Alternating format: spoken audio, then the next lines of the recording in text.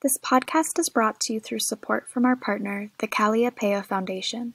Kalliopeia envisions a future grounded in compassion, respect, dignity, reverence for nature, and care for each other and the earth. Other organizations they support include the Rocky Mountain Seed Alliance and Lead to Life. To learn more about Kalliopeia's mission, visit kalliopeia.org. Welcome to For the Wild podcast. I'm Ayana Young.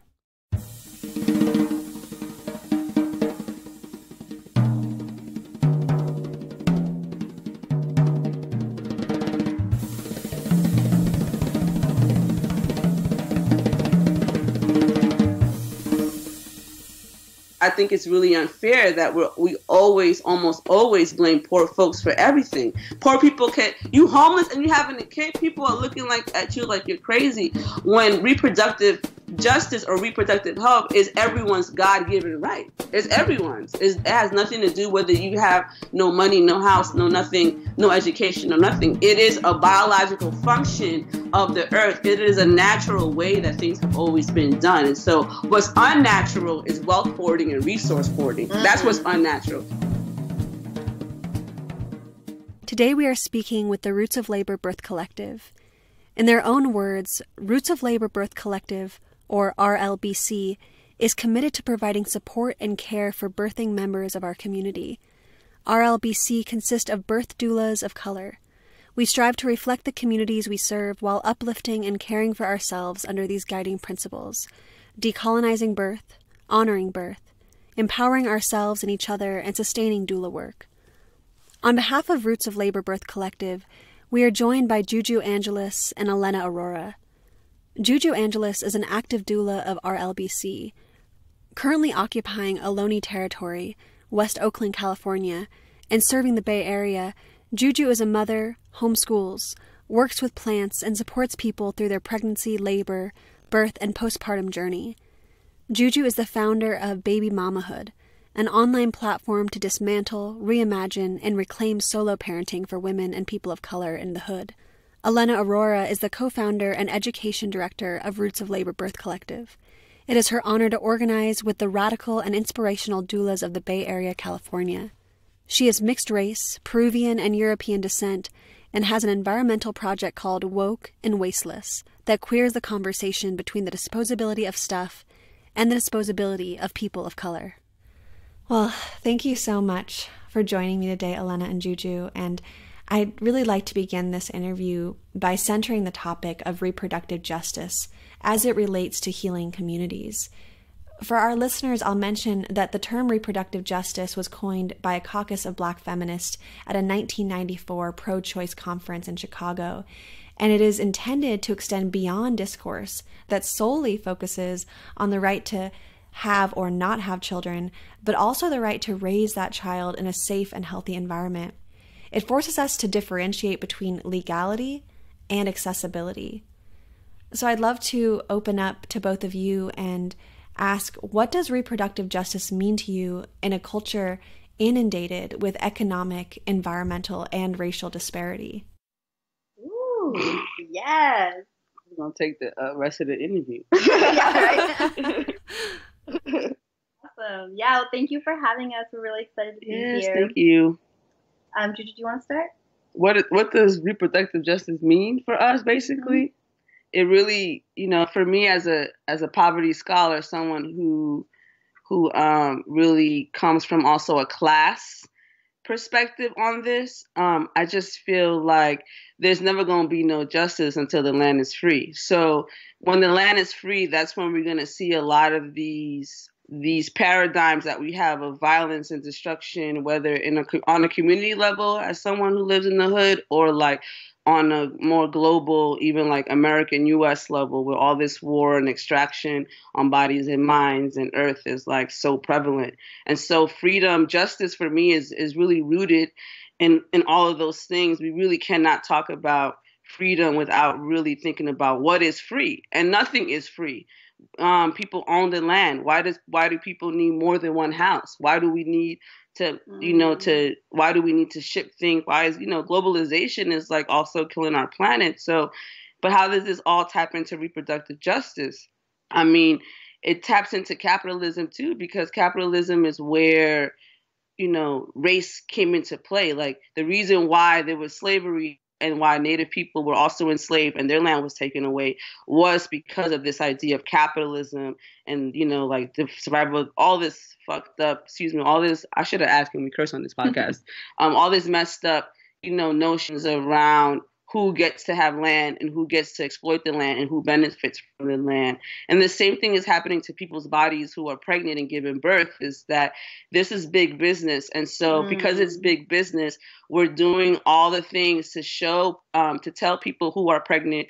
Um, that they don't have the capacity or the power to to give birth on their own terms that they need to be numb that they need to have all these you know medicines because why be a martyr? Why you know why do this on your mm. own? Like why why right? And so we know that these realities impact women and people of color the most because we have the ones that have always been silenced. We have the ones who've always done all the labor without any recognition, the emotional labor, the home labor, the labor of dealing with families who are being broken up by this. So all this stress has compounded to the way to to the point where I forget the scholar, the women scholar, the black women scholar who talks about weathering on the bodies of black people in particular, but I'm sure it could also extend to indigenous people of this land because they have also faced um, insurmountable just pain and and struggle and and a lot of silence, but even more so than black um, people,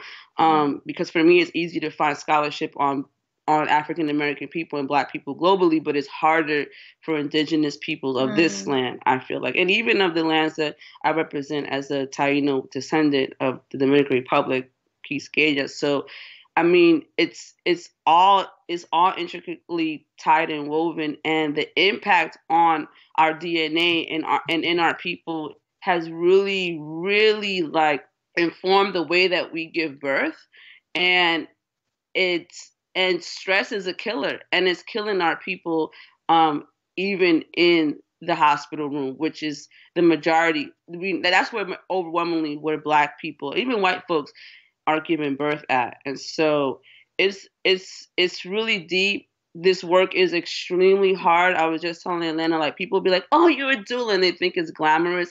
It's not glamorous work. Like I'm not doing this work because it's beautiful and euphoric, and I get all these wonderful feelings when people give birth. Um, that's not the that's not the crux of it. That's a very small moment on this journey of parenting and also understand hearing the hearing the fear and the struggle that people of color are birthing their children in is like I'm trying to give my folks hope just through baby mamahood alone, but like it's it's it, it is beautiful, but it's also very, very, very, very hard. And black mothers, indigenous mothers are afraid to give or I should say parents, is to be non-binary, but we are afraid to give birth into this society because we know and we actually feel what it what it's like to be a person of color in this world. And so there's so many facets and so many ways that this work is connected to everything because everyone has to be born. Mm.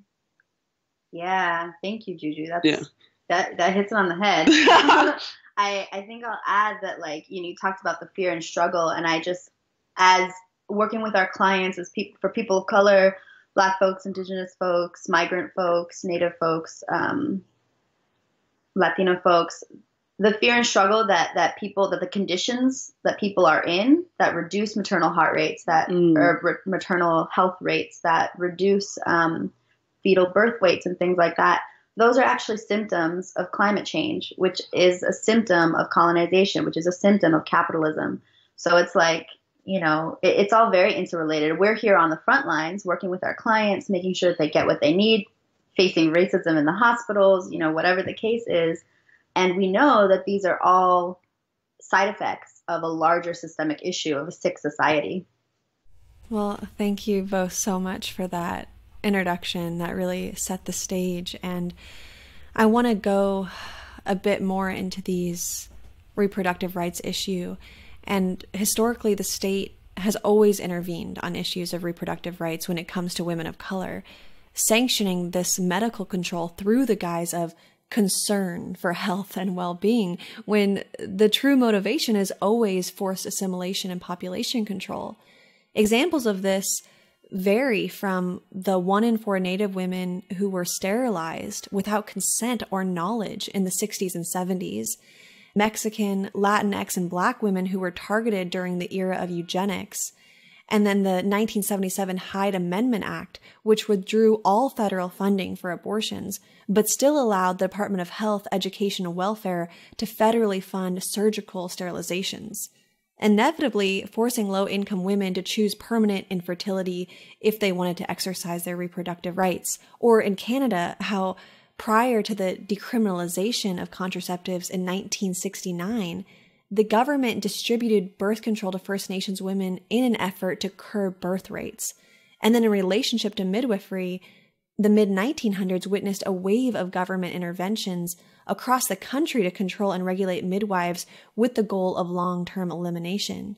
In the South and Southwest, governments specifically went after African American, Indigenous, and Hispanic midwives, forcing them to get permission slips from licensed doctors, undergoing cleanliness and uh, medical bag inspections, and forbidding them from carrying herbal remedies.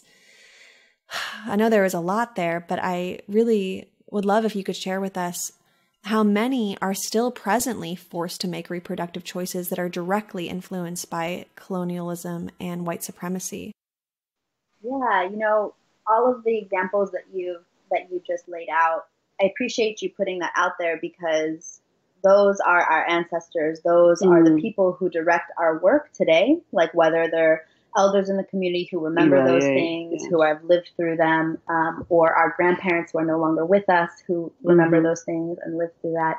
So I just want to take a moment to honor them and honor their journeys in reproductive justice and the, that that they have brought us, both myself and Juju, but mm-hmm. us as a greater collective, us as a greater consciousness of society. Um, to this place. You know, I don't think it's a coincidence that reproductive justice is in this sort of wave of resurgence. Um, and a lot of what you said, I, I want to dial back to specifically the pieces around abortions, um, especially granny midwives in the South, both Black women and Indigenous women as you mentioned, were banned from carrying their herbs or banned from carrying their medicines. And I want to point it out that the reasons why that that happened is because of the misogyny and patriarchy that exists within the medical system. That before Western medicine came from Europe and came to these lands, people were taking care of their own. And um, I just want to point out that, especially for Black people who were slaved, they were they didn't have access to medicine in the sense that the white folks wouldn't get let them have access to medicine. So they carried their own, which is from their homelands, which is from learning the herbs, learning the land, building relationship. Um, and that the reason why uh, they were able to be so targeted around cleanliness was actually because of abortions. Because back then, mm. a midwife would take care of any reproductive need that you had, whether you were going through menopause, whether you were having hot flashes, whether you were having a baby, whether um, you had been raped and needed to get have an abortion, mm. or not raped and you just didn't want to have a kid. Taking care of the body and having like ownership and control of of of your own reproductive cycle was handled by midwives because abortions were seen as unorthodox. They were seen as um, what is that when it's not morally correct? They, unethical. Unethical. That they were able to use that rhetoric to then mm. turn the masses against granny midwives and black midwives. Um, so I just want to I think in this time when people are really worried about abortion access, we really have to remember that the rhetoric for abortion was actually a tool to discredit midwifery, specifically black and brown midwives. Mm. And also the, the piece around these reproductive bo- like reproductive bodies, whether however they identify, if you control a reproductive body, you control the people. Mm. If you control how a person gives birth, you control the people. Um, and for folks whose bodies were literally so bought and sold, that is a tremendous amount of wealth and power that you can hold and manifest, which is why people who have um, womb spaces or who can create from their womb, whether that's through manifestation or through um, like physically birthing a baby, mm. they're to our society, our patriarchal and misogynistic society.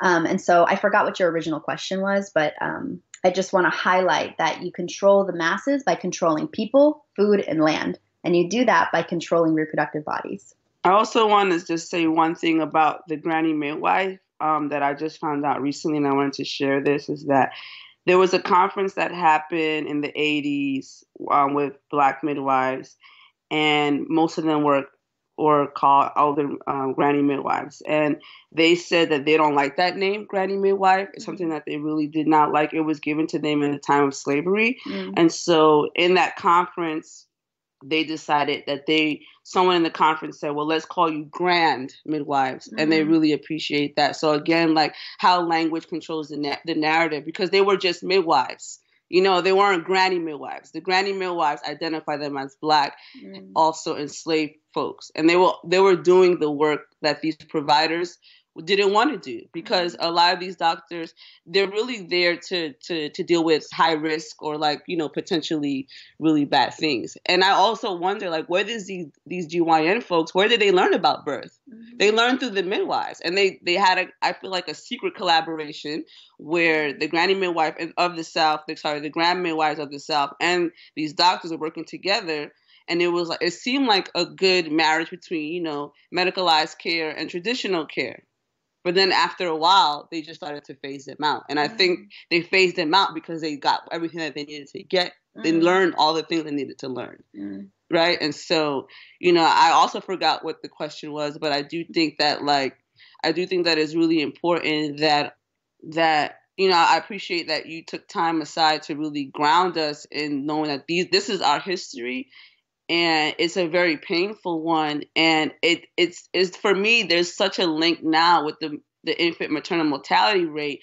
and the phasing out of these providers mm. like there's a direct link between that mm. um, and when we talk about sterilization and forced sterilization and population control and yada yada yada you know that's also very true you know i had this Remember, I told you the story before. I had this white radical anarchist that I squatted in a house with in West Oakland years ago when I was trying to find housing and I have a daughter who's 11. Her name is Zion, and you know, and at the time, I everyone knows me knows that I want to have more kids, and I and I generally want to do it as a solo parent, and and he was like, "Why would you have more kids? The world's fucked up." And I was just like, "Whoa, buddy, I'm gonna have to slow you down. First of all, you're a white man. You cannot tell me or ask me a question why I want to have kids. Why can, I live in a society where I can have kids freely? Why not?" Mm-hmm you know, that wasn't afforded to us. We were mm-hmm. either hands on the field or or you know or or somehow we have to like negotiate with people around when I when can I have kids or when can I not have kids. And you know, I think that like my right as a person who can give birth is that I should be allowed to birth freely.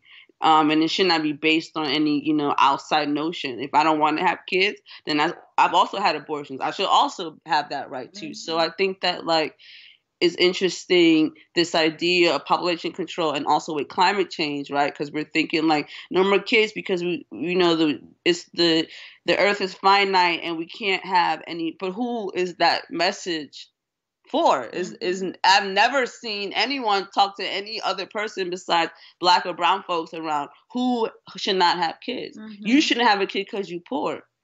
Well, I think I should have a kid because I am poor because I take up less resources. Mm-hmm. I reuse every damn thing. You know, I like you know my people were already environmentally friendly before this whole green wave or whatever it came up to be. We lived that way. We lived frugally because that that's what our life that's what our life was and and and you know and this idea of poverty like it never really bothered me you know like i'm not my aspiration is not to get rich so that i can buy more shit. Like my aspiration is to just be free mm. and free of everything else along the way. And so i think that like um I, I believe that forced sterilization and population control was just a racist way to try to basically exterminate black and brown folks because that's what that's what they've been trying to do ever since slavery end is to start killing us off because no no longer could society or white men benefit or white families benefit from the labor of black folks in particular mm. and of mm. course we want to silence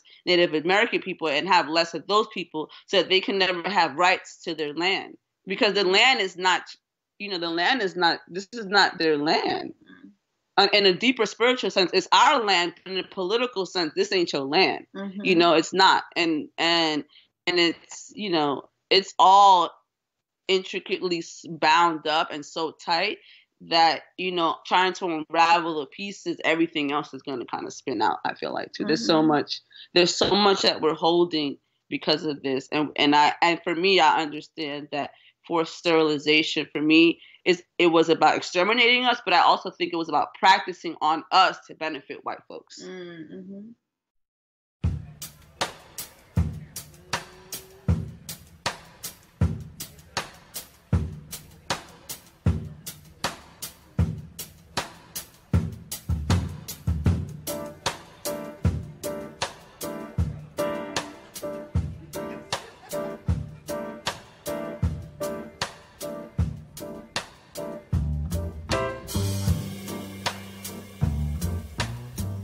For the Wild podcast team is so grateful for the continued support through our Patreon subscribers. If you haven't signed up yet, head over to www.patreon.com slash forthewild to engage directly with our team, weekly guests, to hear additional content, and receive access to other bonus material throughout the year.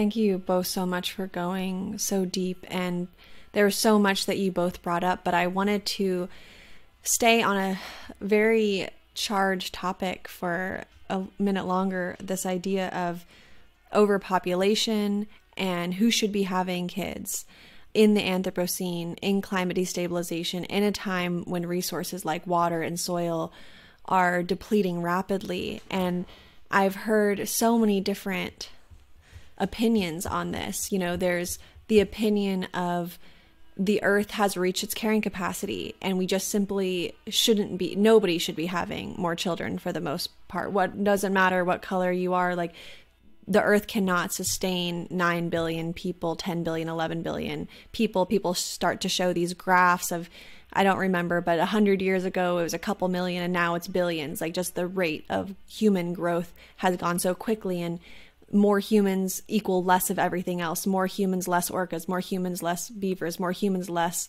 land for any other creature, whether it's a mammal or bug or tree or whatever. So there's that train of thought. Then there's this also thought that I really get riled up about that people are like, oh, well, we should be the ones having children because we're the educated ones or we have the resources to provide for the children, which I'm sure, you know, you kind of had mentioned it, Juju, in your last statement um, a little bit.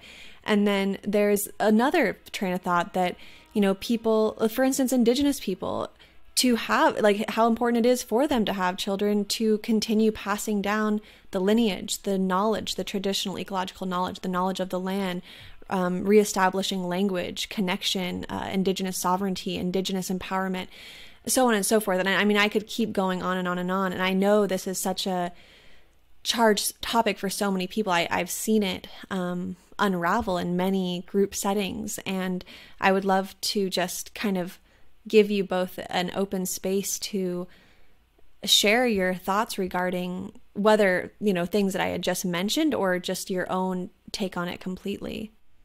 Yeah, uh, I like. It's an interesting question. I like how you framed it. Um, I'm going to be wearing multiple hats as I answer it, both my Woke and Wasteless hat and my Roots of Labor hat, um, and me as a mixed race person, um, both part white and person of color. And I guess I want to start off by saying that this idea of you know overpopulation or what is the threshold that the planet can hold um, is so controversial because these sci- like scientists and different studies um, from what I've seen, are mostly run by white folks, um, specifically white men. And so their numbers and data are kind of all over the map and aren't really. Um, aren't really re- representative of what's happening globally, um, although they try to in an unbiased way. And so they, you know, what is the carrying capacity of the planet? I'll just name that we don't really know, and there's so much controversy around it, um, which I think you alluded to. And also that how could somebody say the planet is overpopulated? We, meaning all of the people on the planet, need to stop having children when we, everyone who lives on this planet knows that people have been dis- disproportionately affected by genocide, disproportionately affected by climate related things factory farming um, living by industrial waste sites like they this is that is a form of population control because it is reducing people of color's ability to give birth because their bodies are being exposed to toxins so all of those things are already in effect and then you have populations of people who are able to be fertile and continue to um, continue to give birth. And I think that it's a tricky question because you did name something like we as educated people should be able to reproduce. I'm not saying that that was your opinion, but that you you know you quoted that and who are the educated people, right? They're usually white, middle class, or upper class folks. We are seeing a surgence of like black, brown, and indigenous folks in college and schools, and I really want to honor them in their journey um, mm-hmm. of doing that because it's hard work and it's extremely oppressive. Mm-hmm. Um, so, what does it mean for people who have achieved economic and education educational privilege to then be the ones to give birth um, when the reality is that um, babies are going to happen people keep having sex right. um, condoms break you know birth control doesn't work um, stuff happens and also you know as as a mixed race person for me personally i don't want to give birth um, because i don't think that my the privilege that my father's family has ridden on in the United States for the last couple hundred years, um, they've been able to have their kids and they've been able to like have their kids in comfort and in all of those things. Um, and I don't think I need to carry on that legacy. Will I ever raise children? I don't know. I don't know if that's something that I want. Um, but I don't need to birth them because uh, I know that that generation, those generations of my family have had that privilege, and that's not something that I mm-hmm. need to do. Um, however, my partner is mixed race and indigenous, and I do believe that we need to carry on more indigenous folks mm-hmm. with their ancestral DNAs and their understandings of what has happened in their lifetimes um, and continue those legacies. Um, so those are the hats that I wear. I will. I will say that there's this documentary, I believe it's on Netflix called A Plastic Ocean. I think mm. that's the right one, where they talk about some some islands um, in maybe Samoa. I'm not, I can't quite remember now, um, but they're talking about how there's so much trash that's washing up on their shores. It's affecting their fertility rates. There's no scientists telling them that oh this is what's happening, but they're mm. like hello, we're swimming in trash. We're like live live literally living in trash, and all of our people cannot get pregnant. When someone gets pregnant, it's a big deal, um, and so the the communities that are most affected by climate change and the climate devastation are often the communities that are closest to industrial waste and all of those things, which are always placed in communities of color. Mm. Um, I used to say, oh, communities of color and or people in poverty because I wanted to include that like sometimes white communities are are right. in that areas too. I recently found out that that's actually not true. um, that it, it, whether or not, I mean there are I'm sure some, but that um, statistically speaking, they are way more disproportionately placed. Um, toxic waste sites are way more disproportionately placed in Black and Brown communities. So, um, yeah, that's all. That's all I'll say for now around around carrying capacity. Yeah, there was something came up, but I kind of forgot it. I think it was along the lines around who gets to decide who has kids, but also just let's be real. Like, why do we always blame the people? Mm. Like, why do the people have to stop having kids? Mm. Right? Like, and when I say the people, I mean like people on the ground, people who are not in positions of power. Like, why is it the onus on us? Why, when I go into a store, why is the option that I buy something in plastic? Why isn't the people mm. who are so called educated and have all the land and all the know how and can have all the kids, why we're not put, forcing them to do something about it? Why have we go- have gone to them and say, no, we need to stop doing this. We need to find an alternative way to, to do this or to factory or whatever or to agriculture because it's actually clean on the planet. But why is it that me and you have to think about whether or not we should have kids or not? Because it's if I'm if y'all like the mamas and the daddies of the world and y'all control everything, right? And we are so called this analogy, your children. Why is the why are the children the one to blame? Mm. In a household and the child is emotionally messed up or physically messed up, we'll never blame the kid. We'll blame the people who are their parents, right? The people who are the ones that have control over somewhat of their livelihood and and the culture, whatever. You know, so it's always to blame us. Mm. Always. We always is the one to blame. It's never them. It's not the people who actually have the power and the capacity to actually change their mind and actually make a lasting impact. Mm. And so you're right. Who decides what is the carrying capacity of the earth? I hear Mama Earth tell me that that you know that was it, you know, mm-hmm. and you know it's. I think it's really unfair that we we always, almost always blame poor folks for everything. Poor people can you homeless and you having a kid. People are looking like at you like you're crazy mm-hmm. when reproductive justice or reproductive health is everyone's God given right. It's everyone's. It's, it has nothing to do whether you have no money, no house, no nothing, no education, no nothing. It is a biological function of the earth. It is a natural way that things have always been done. And so, what's unnatural is wealth hoarding and resource hoarding. Mm-hmm. That's what's mm-hmm. unnatural. What's unnatural are these toxic waste dumps. What's mm-hmm. unnatural are these factories that are being built in communities that's messing up our asthma, all these trucks, mm-hmm. all this production. That's what's unnatural. Mm. It's not whether or not people are should have kids because that's going to happen. And so we constantly I feel like me as a person who likes to work with plants and herbs and who is in this work, I'm always trying to convince people to to consider to go back to natural because we are slowly and with also with technology we're slowly becoming so disconnected from the earth and one another that the nat- what we see as natural is hard it's too hard mm. you plant your own stuff you make your own medicine it's too hard you know i could just pop a pill mm. you know i could just you know get a C-section. I could just, you know, whatever. And I'm not trying to say that those things are bad and we shouldn't have them. That's not what I'm trying to say. What I'm trying to say is that the way that we the way that we always blame poor folks in in general for every ailment in society. Single I, all these studies against single parents. Mm. your child is 80% more likely to go to jail if there's only a mom in the household. I'm like really? That's what we're going to blame? We're not going to we're not really going to look at the structural things that are happening that are in play that you know the rent how the rent is so astronomous that people have to have like three to four jobs to just even have a home over their head you know i live with housemates because i have to. Mm-hmm. i love who i live with but i also have to live in community because if i don't live in community i'm not going to be a good person. And i'm then hence i'm not going to be a good parent.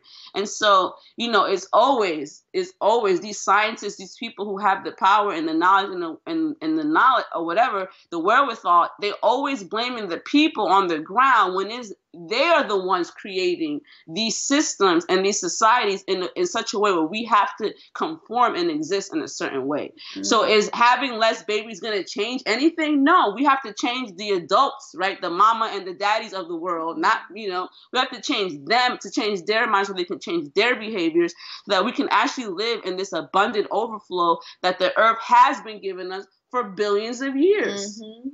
Yes. Why is this problem now and not then? Were people having less kids then? Mm. No, they weren't. My mom comes from a, a household of six kids. Mm. My my father's side of her, she had ten kids. Mm. I don't have 10 kids. My cousins don't have 10 kids. They have mm-hmm. one, two. We're not having more babies. We're having actually, we're having less kids. The folks who are having more babies are the non melanated folks. They're the ones who are having the more babies now, if we look at the trends now. So, you know, for me, it's just, it's all very interesting to just say the least. Yeah, Juju, I like what you said around, well, everything, but also like uh, this idea that you're talking about, like in the grocery store, giving us options, plastic free right. options. I'm thinking about like consumerism and how, like, especially, you know, I hear this term a lot with greenwashing around how, you know, even if you go to Target or something, which Target is one of the three of the most harmful, it's Target, Amazon, and Walmart the most harmful like right. environmental destructors in California um, because of their warehousing and because of the logistics industry and what they're causing they're causing asthma rates, birth defects, and things like that because of their diesel trucks in the Inland Valley in Southern California. And so, but you walk into Target and they have so many advertisements, especially to new parents. You know, how many of my clients have gone into Target to get their registries, um, you know, their birth, their baby shower registries or whatever. Um, and you know you want to get green diapers and you know all of these things and you know the word is called greenwashing but the idea that we can buy our way into being a, a, a, good green parent or you know like an environmental parent especially we live in the bay area it's everywhere um, and we have to be careful with that and because marketing is tricky and it makes my clients feel good to know that they can get environmental things and i'm sitting here being like oh my god it's not really environmental it's just marketing you know mm. but um, you know, and of course we I have those conversations carefully with my clients. Um, but on a on a bigger scale, of course, a parent is going to want to try to get the more environmental friendly thing. But marketing and capitalism is so clever that it jumbles us up. Mm-hmm. It does it to mm-hmm. me all the time. You know, I live my life zero waste. And, you know, you can look at Woke and Wasteless if you want to see what that looks like. But also, it's hard because their systems aren't set up like that. And so, what I love about Roots of Labor Birth Collective is we constantly have these conversations. And um, we as a collective, like we do different, like we do uh, baby showers of upcycled good um, goods because you know babies grow out of their onesies in like two days. Mm-hmm. and you know and but somebody else needs them or their car seats or whatever. And so we try to have like an upcycle economy within roots of labor and clients can come and get their stuff for free. And it's really just use things that are still in good condition that can be you know used by someone else um, and all kinds of things. But that's a, a way that roots of labor um, and the community here has really tried to to move away from like the consumption patterns because it's really i mean it's literally killing our people Oh my goodness, you both brought up so much, so much important uh, perspectives. And I'm like, oh, oh, I want to talk more about that. I want to talk more about that. I want to talk more about that. But I'll just start with wanting to talk more about the toxicity, especially for people of color, because like both of you were talking about how whether it's the landfills, the toxic runoff, the power plants, the um, refineries, you know, where are they located? Uh, they're located in communities of color, and that's by design. And I want to read a quote by Katsi Cook, who is a Mohawk midwife, environmentalist, Native American rights activist, and women's health advocate. And she has said, quote, women are the first environment. In pregnancy, our bodies sustain life. At the breast of women, the generations are nourished. In this way, we as women are earth, end quote. But of course, learning about the high levels of contaminants we harbor in our bodies, women harbor their bodies specifically, but honestly, all people. Um, but women, those contaminants can only be flushed out through pregnancy as they cross through the placenta or through lactation. Cook added that the women can unfortunately be landfills too. Um, I was also speaking with somebody who had mentioned something like um, some like 90% of a woman's toxic load comes out with her first child through breast milk. So this is such a emotional topic, but I'm interested to hear from both of you how you see climate change, or more specifically, pollution, toxicity, and even nuclear fallout, as a threat to fertility and the ability to bear healthy children. And then, furthermore, how can we live inside of our bodies and care for them, knowing they are contaminated and we risk spreading this contamination to our children? yeah. I mean, you know, with with the breastfeeding thing that you just mentioned, I always steer clear of that with my clients, specifically because depending on on what demographic and what race my client is, the benefits of breastfeeding will outweigh the toxicity mm-hmm. that the baby is getting because the baby's gonna li- like we live in toxicity. When the fires happened uh, here in the Bay Area or, or in Northern California, and the Bay Area was unbreathable and unlivable you know, kids couldn't go outside. We couldn't go inside. People were having like stress, really like mental and mm-hmm. physiological stress, physical stress of not working out, being outdoors at all. And the reality is like, you know, lots of people got air purifiers and those things, which is great. Um, but the reality is it's toxic all the time. It just mm, was really heightened during the fires. So we live in a toxic environment. Like apocalypse is here. Like we've been living in it so how do we manage it? And for me, it's around educating folks that like you should get an air purifier because yes, they're expensive, yes, they're an investment, but it could increase the like your lung capacity mm-hmm. and your asthma rates and things like that. So the benefits of breastfeeding definitely outweigh, but mm-hmm. if I'm mm-hmm. talking to like a black client, I know that potentially this client has had a ton of stigma around breastfeeding going back to slavery. If I'm talking to Native clients, um, the same. If I'm talking to Latina clients, you know, especially young folks, I'm I'm really trying to think about how do they feel? Does it feel uncomfortable? Does it feel too sexual? Like there's mm-hmm. so many other emotions and feelings that we most of the time with my clients, I never get to the pollution aspects or I never mm-hmm. get to those. Um, unless they're a client who's already like we're very like minded and we can they already know that that's the work that I do. But for the most part, we really like have to balance it. Um, and I guess the reality is like we've people of color we've been living this way for generations right these toxic mm-hmm. sites have been around us for a long time um, i think about in you know a friend just reminded me of the story that in japan when the nuclear waste was happening it was the elder folks who knew that their lifespan their lifespan was coming to an end who volunteered themselves to go clean up that nuclear toxic waste. And to me, I'm like, that is reproductive justice. Those are people, elders who have lived out their lives, who know they're going to die, who are going to like clean up this toxicity. And when we see, I was at the grocery store the other day, some hippie Berkeley Bowl, which is like for the most part pretty hippie, white mostly um, shoppers grocery store in the Bay Area, and there was this Asian woman who had a baby, and I could tell they were pretty early, like you know she was only a few weeks out, maybe six or seven weeks out, and um, she was doing okay, you know. But like, of course, I'm a doula. I was like, "Hey, what's up?" You know, we were we were chatting, um, and she needed help, like moving moving something from her basket to the conveyor belt, and no one around me was going to help her. And I turned around and I looked. I was like, "Do you want me to move that?" She goes, "Yeah, please, thank you." I didn't know what to do, you know. And it's remembering moments like that where like people who are parents need support right? Like we need to step in and fulfill their roles, whether it's a sacrifice or not. I mean, that's mm-hmm. obviously not a sacrifice, me moving something from a cart to a to a mm-hmm. table, but we really need to think of our pregnant people as part of our society and valuable in our society. She's tired. You could tell she was mm-hmm. tired. I don't know why she was at the grocery store, but she was tired. Mm-hmm. and um so when I think about like the reality that we live in pollution, that we live in these environments and we have for generations, how do we as a society come together to support our clients? Right? Roots of Labor does it in a very particular way around serving our clients and making sure that we have support.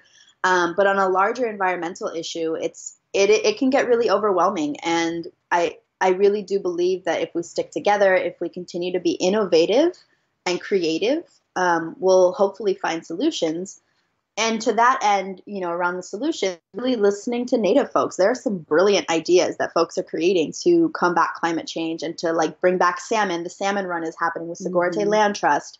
Um, you know, there's there's of course Standing Rock and things that are going on in NOLA. Like all of these things are being led by indigenous communities and they aren't separate from reproductive justice. They are what I would love to see is more and more white folks understanding and listening mm-hmm. to indigenous people, to black people, to Latino people, to migrant folks around what their experiences are. and are. then also believe in us. Yes. Because there's such this there's such this like an academia, right? There's such there's such in this so-called academia, there's such this people who are educated, went to college and whatever, got a PhD or a master's. They don't want to believe you unless you have scientific data mm. to prove it. And it's like science scientific data ain't helping like look at the world is un is you know we're under a fire whether it's metaphorically speaking or for real and it's just like it's just like believe us and then do the things that we're asking you to do because mm-hmm. that is consent and what what often happens is that these anthropologists right mm-hmm. they come into our communities they dig up all this shit, they find this stuff, and then they create a study around it, and they say these people are downtrodden, they don't know what to do. They don't have. We have our own scholarship. That's why I started the podcast saying I'm a poverty scholar, and I know you know, I know my life. I know the reals ins and outs of, and you know, like I can look at the world and, and create a sentence and formulate it.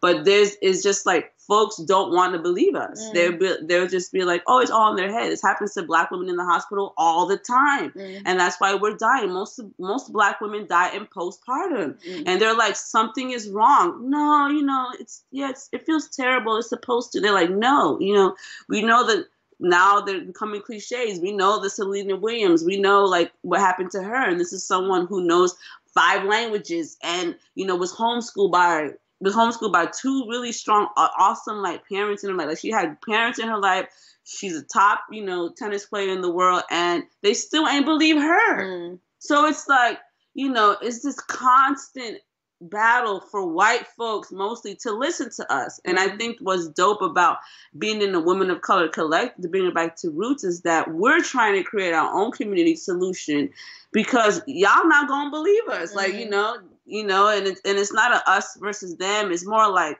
who are our allies in this work? Because we do have allies. We do have white folks who are allies. Mm-hmm. I have, you know, white folks have supported me financially. Um, but I just feel like you have to listen and you have to also do the things that we ask you to do. And if that's a sacrifice, if that's a stretch, you got to come out your comfort zone and just trust us. Listen to us, mm-hmm. trust us, believe us because I really feel like especially through a class perspective, if we get rid of homelessness, you know, if mm. that means that the land is somewhat free, right? If we get rid of homelessness and we really stop hoarding wealth and people aren't allowed to buy 8, 9, 25, 3,000 properties, houses, whatever, then we can really come from a solution based perspective. But right now, like Elena alluded to earlier, we're trying to get our basic survival needs met for a lot of our clients. Mm. As a doula, I've done things like get people's WIC checks, you know, yep. so it's like, I'm a signature on her WIC now, and I'm never probably go. I don't know if I'm gonna see her, you know, two three years from now. But if she ever needs somebody to pick up some milk, I could go get it for her. But it's just like I think that like we really need to listen and act on the knowledge that indigenous people all over the world have already because we've been surviving under the most gruesome, horrific, fear-based shit, right? Mm. And that's not the totality of who we are that's not as a, as a, I don't like saying I'm a single parent. I'm not singular, you know. Mm-hmm. I'm a baby mom. I have a baby. I had a baby. I'm her, I'm her mom, and the people in my community really hold me up too. You know, I wouldn't be where I am today if it wasn't for black women and brown women. Like it just wouldn't. I wouldn't be who I am today, and neither mm-hmm. would Zion. And so I just feel like I just wanted to like pull that out with what you said, Elena, because we really, really, really need to support parents in particular, but we also really, really, really like really need to listen to us because we're we're the ones that have the solution. We know what we need, and we really need to stop moving away from this top-down mm. approach around who is the expert. Mm, mm-hmm. You know, I always appreciate those mamas or those birth people that I work with who the doctor says yada yada yada, and they're like, "No, I'm gonna do it this way."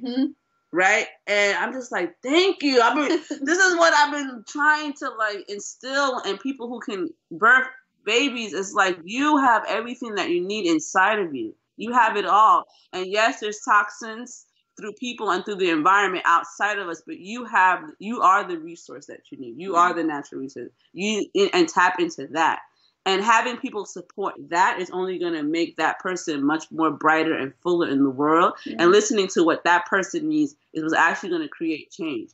It's not going to be from some scientist it's not going to be from some yale study. It's not those things are not going to happen. Those things been happening and we have not really seen any systemic change. Yeah. only thing that poor people have seen is more materialistic shit. We mm-hmm. have not seen any change around who owns the land, who gets to steward that land mm. and what and, and, do we have a decision around where factories get built where things get dumped blah blah blah, blah. we don't have agency we have more shit but not agency mm-hmm.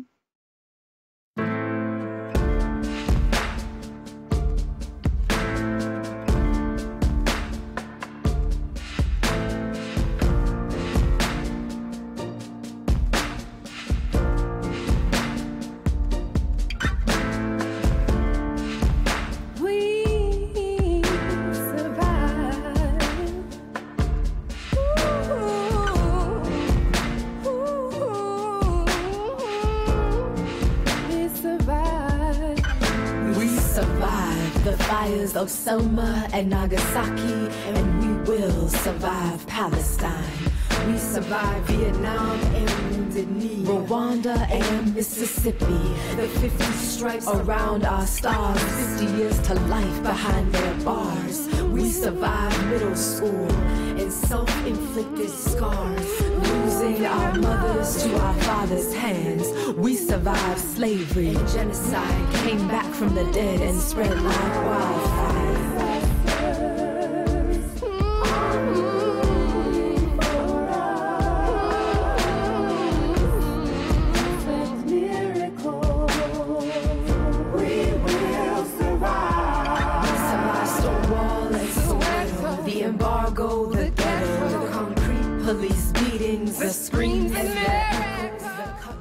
Yeah, there's more stuff, and that stuff is just shit. It's like slave labor, plastic, meaningless stuff, and a lot of it's totally toxic and unhealthy. And no, there hasn't been systemic change. And we're going to have to, or I hope that we can schedule a follow up call because there's so much more that I would love to spend time discussing with you both. This has already been such an incredibly deep and meaningful interview. And as you were talking about support, I would really love for you both to share with the audience how the roots of labor can be supportive, supported. This collective that you both are so deeply intertwined with and put so much of your life force into you know where can people find you is there ability for people to donate to your work and help sustain so much meaning like you you both sustain so much how can the community help sustain you both and the other people in this collective? Yeah, thanks for asking. You know, Roots of Labor Birth Collective, um, our website is www.rootsoflaborbc.com. Um, there is a, a, donate page that you can donate directly to the organization. Um, if you follow our Instagram, which is at Roots of Labor BC, we often are posting, like what Juju said, we're posting folks folks in the collective and or friends of the collective who are raising money always black or brown or indigenous who are raising money for their midwifery education or their doula work or to study in another country that is related to like black and brown midwives in another place so there's always opportunities through our instagram you can donate directly to um, to the organization we also like i like to think of roots of labor as casting a wide net we have a pretty wide range of doulas we have about anywhere from 30 to 50 at any time um, of members in the collective. And we serve the East Bay area, San Francisco Bay Area in California. Um, we are really creative. We, we really agree and, and love systems outside of capitalism. So we do trades, we do barters. Um, we've had folks who just like made a zine and sent the proceeds to to Roots of Labor. Mm. We've had folks who um, want to do a doula training in their neighborhood, so they've paid for us to come down there and like do a doula training um, and all kinds of innovative way. We've, we've had people who said, I want to offer a scholarship to your doula training because our doula trainings are really unique. They're four days. We do them once a year, um, and it's all people of color. And we bring in all kinds of other healers to come and do really a four day intensive reproductive justice orientation that brings you into the collective. We've had folks be like, I want to sponsor a person to be mm. to be here, and so we're able to offer scholarships because of that. So, um, or we've had several podcast requests of like, let's spread your word. So if you have a podcast, if you have any sort of platform or anything like that. Shout us out. Um, give us money. If you don't have money to give, send us prayers and love. Mm. Um, you know, tell your ancestors to to stand with our ancestors in mm. in the work that we're doing. Yeah, and also just also sharing the work with others. Sharing is such a powerful way to combat capitalism in mm. so many ways. Like I literally have a car because of GoFundMe. Someone stole my car. I was not going to call the police because I'm not trying to get folks into that whole thing. And I was like, is literally a car worth like five hundred dollars, mm. and they stole it. And I was just like, fuck, how am I gonna get to this birth that I'm on call for? And in a week, I raised three thousand dollars and bought another car. So I think that sharing is a powerful way in sharing our work. You know, um, also I believe in monthly contributions. Maybe you can only give five dollars a month. That shit adds up in three years. You give in something. You know, I don't want to say shit. That's that adds up. You know, and that could be powerful too. I think that um, sustainability is always about flow and you know, prayer increases that flow, sharing the work, donating to the work, and just, you know, and that's, you know, it's all a part of the flow. I think that's what helps mm-hmm. um, with anything. So we always, you know, we always, I always appreciate when folks lift me up and lift the work up that I do. And, and that's how, you know, for me, that's how I've been sustainable. And people who, you know, just to be real, like I live in, I live in a home that I share in this two, there's four bedrooms and me and my daughter occupy half the bedrooms, I don't pay for her bedroom. My community actually subsidizes my daughter's rent, my rent, so that my daughter can have her own bedroom. Mm-hmm. And so that's a that's like a yearly thing, right? So we'll revisit this in a year, but it's a way. I really believe in monthly contributions, so mm-hmm. it's a it's a it could be a powerful way to to help us to say, okay, we know this is this mm-hmm. is coming in every month. So yeah, just something to introduce, you know, another way to give as well. Mm-hmm. Yeah, convince your local grocery store to accept WIC or accept food stamps. Yeah. you know, there's all kinds of things that helps not just our clients, that helps everyone, you know? Yeah. Yeah. Wow. Oh my goodness. Thank you both so much. This has been probably one of my favorite conversations on the podcast. And like I said, I would really love to at some point have another conversation. I, I want to respect both of your times or both of your time. I know it's so valuable and you're both on call for births.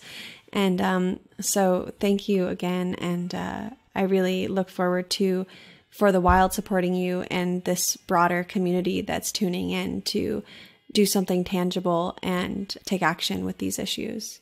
Yeah, thank you so much for having us. It's been really a pleasure because we we are so, you know, as Juju said, we we can go down a rabbit hole of midwifery care or of doula care or mm. talking about placentas or you know, there's so many different avenues and it's really refreshing to also speak about environmentalism and the way that mm-hmm. RJ and EJ intersect. So thank you for inviting us and having us here for that.